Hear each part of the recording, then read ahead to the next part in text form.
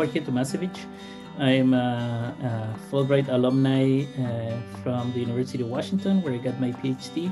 And I'm currently uh, the research coordinator of the um, wetland, the Rio Cruces Wetland Center at University Austral de Chile in Valdivia. How would you define your experience on campus? Well, I, I think it was actually very enriching. It was uh, a huge opportunity. It was um, unbelievable to be able not, not just to uh, see and live the American culture from within, but also have the chance to um, get to meet people from all over the world.